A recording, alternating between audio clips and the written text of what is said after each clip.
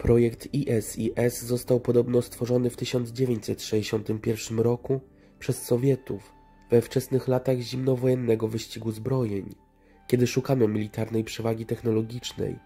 Sowieci mieli doniesienia, że Stany Zjednoczone miały dostęp do zaawansowanej obcej technologii, którą ukryli w strefie 51, gdzie próbowali zmodyfikować obce UFO, które rzekomo rozbiło się w Roswell.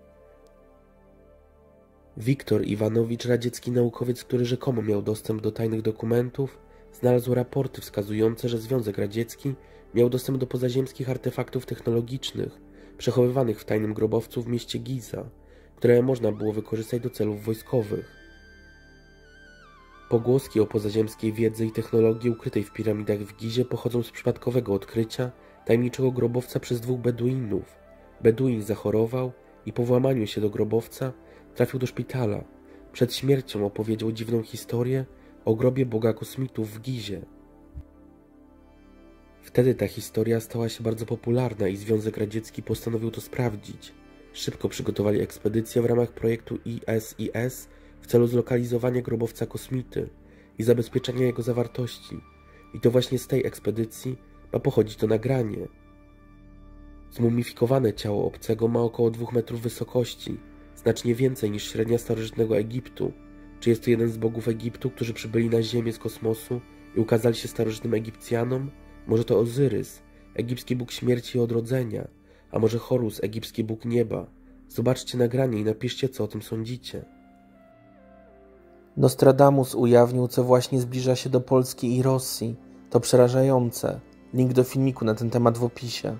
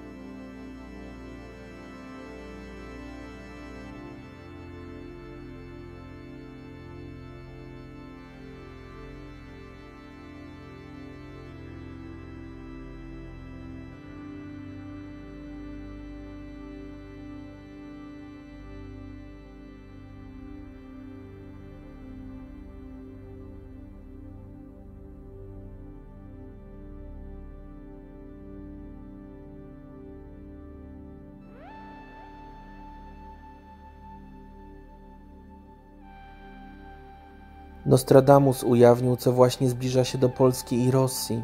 To przerażające. Link do filmiku na ten temat w opisie.